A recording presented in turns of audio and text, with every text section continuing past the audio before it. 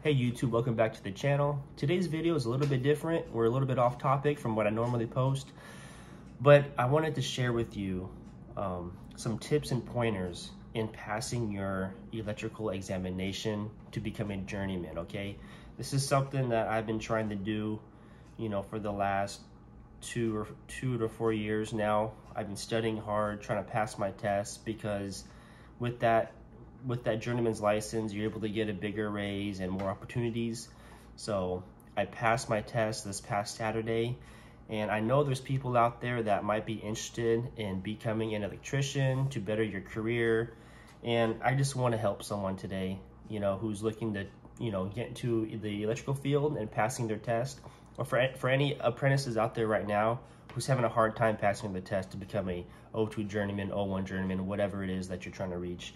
So today, I just want to give you some tips and some pointers on how to pass your journeyman electrical examination. Stay tuned, let's dive right into it. Tip number one, when you get your NEC book, get you some tabs, all right? These tabs are very useful. You can find them on Amazon for very cheap. They help you flip to the exact article that you are searching for when you have a question on the test. Also, make your own personal tabs, but make sure they're professional like these. So what I did is I got a label printer and I was able to print out my own labels and stick them in here. Because if you bring sticky notes as tabs, they will rip those out. So make sure if you do make your own personal tabs, that they look professional like these. It's a good idea because even though there's a lot of tabs here, there's certain few areas where you can make your own references for your own personal reasons, all right? GFCI, box fill, required outlets are all tabs that I decided to make on my own. All right, tip number two, get yourself one of these books. This is the Mike's Holt's version.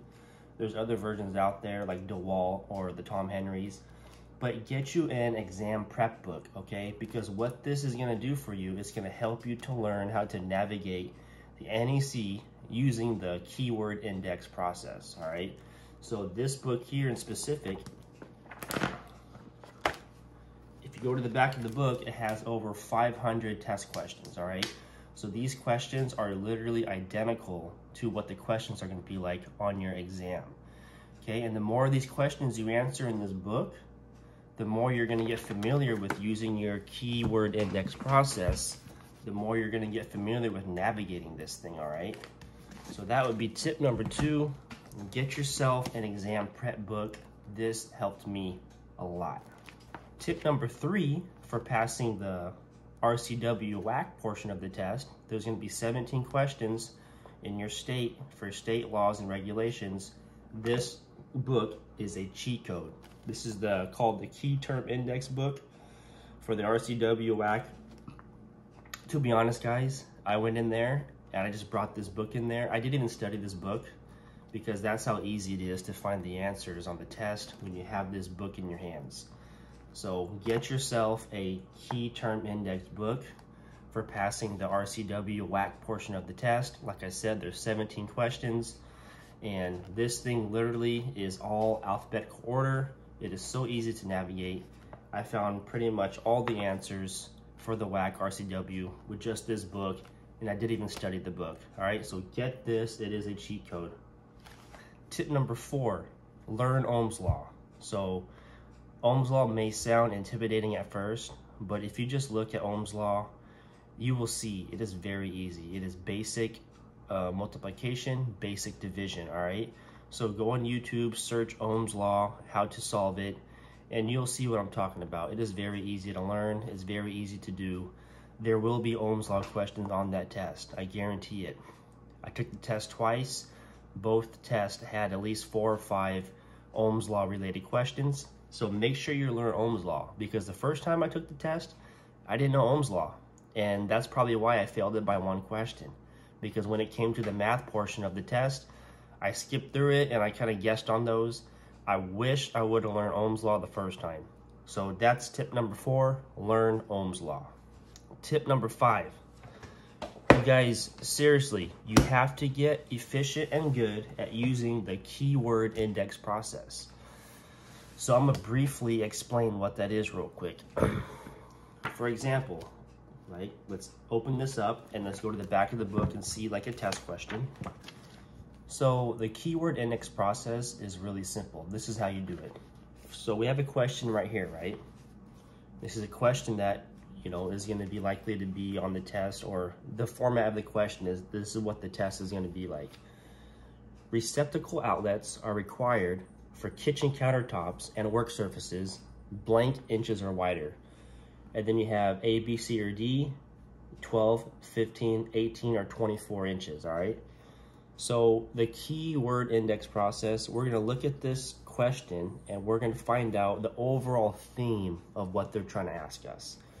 So we got receptacle outlets, okay, and we got kitchen countertops and work surfaces. So there, there's two key terms there pretty much. There's outlets and there's work surfaces, kitchen countertops, all right? So using the keyword index process, you're then gonna read that question, go to your NEC, and you're gonna find the index tab. And once you open up the index, it'll be all alphabetical order.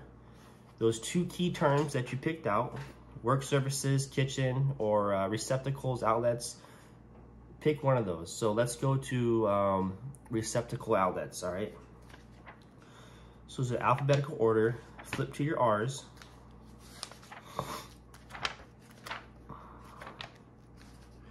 All right, so we found receptacles in the index.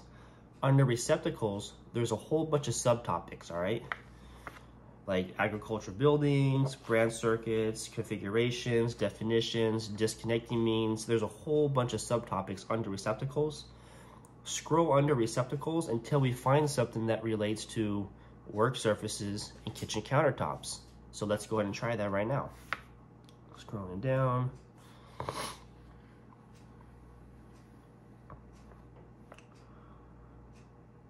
Okay, under receptacles, I see outlets and it's pointing me to 210.50, all right?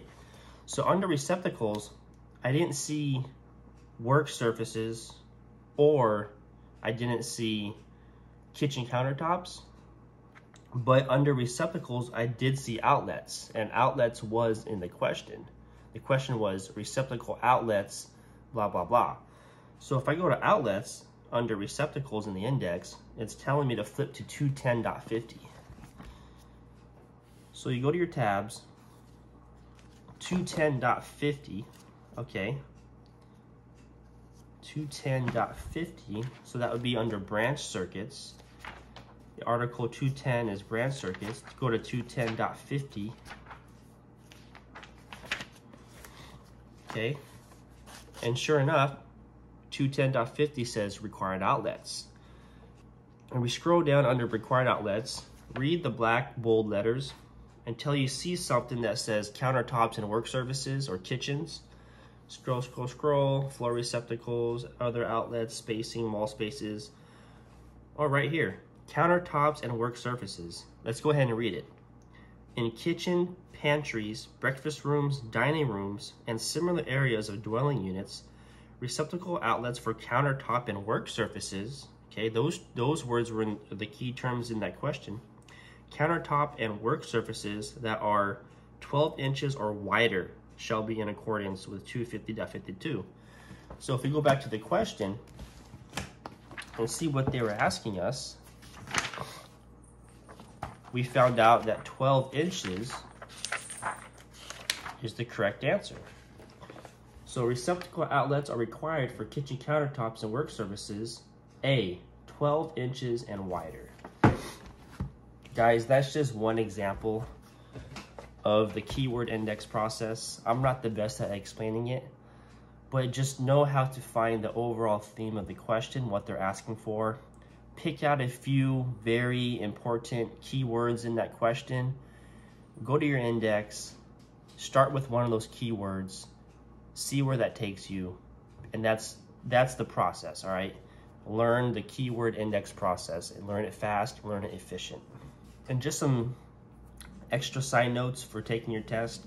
Study, study, study. Study hard, okay? Matter of fact, take two days off before your test. I took Thursday and Friday off, and I took the test Saturday morning. those two days really helped me a lot because sometimes when you go to work, you're kind of exhausted and you gotta sit in traffic on your way home. Maybe you got kids at home, maybe you got other stuff you have to do. So your studying time can sometimes be very limited or very distracted. So take two days off before your test and really use those days to study hard, all right? Also, if you fail the first time, don't be discouraged, all right? Because they print out your results paper and you can study the articles that you did worst on. So this is what it looks like when you fail your test, all right? So pretty much has all the topics in which they had on the on the test introduction, general requirement services, wiring methods, blah, blah, blah, right? They tell you how many questions they had in each of those articles, and they show you how many of those questions you got correct. What you want to do, if you fail your test, you'll get this paper, highlight or circle the articles that you didn't do that well on, the ones you did the worst on, right? Like, for example, Article 300, to 398, wiring methods. There's seven questions on wiring methods on the test. I only got four of those correct. So that's what I'm gonna circle. I'm gonna go back home and study article 300 to 398. I'm gonna study that article, all right? So that's just an example. Um, if you fail your test the first time, don't be discouraged because you're guaranteed to pass it the second time if you're able to take that sheet home and study those parts that you were kind of weak in, all right? And I suggest if you do fail, schedule your retest right away, okay? Because you don't want to take too much of a break before taking your test again because it's still fresh in your mind. You know the process. You know kind of now the questions they're going to ask. So once you fail the first time, after two weeks, you can schedule again. Schedule it right away and study hard for those next two weeks, all right? So guys, that's all I have for you today. I hope this video helped at least one of you guys out today. If you're interested in the electrical field or if you're just trying to pass your examination to become an 02 journeyman, 01 journeyman, I hope this um, video helped you today. And like I said, if you fail the first time, don't be discouraged. Take this piece of paper home, find out the topics you were the weakest in, study those topics, retake the test right away so it's fresh in your mind. When you pass your test, it looks like this. You get these two papers here, one for the NEC and theory book, one for the RCW WAC. This is what it looks like when you pass the test. So I guarantee you that you guys will be able to pass the test, like whether it's the first time, second try. Don't give up, keep studying, keep your head up. And I just hope this video helped someone today. Go ahead and hit that like button, subscribe to the channel, and I appreciate you guys a lot. Take care and have a blessed day. Peace.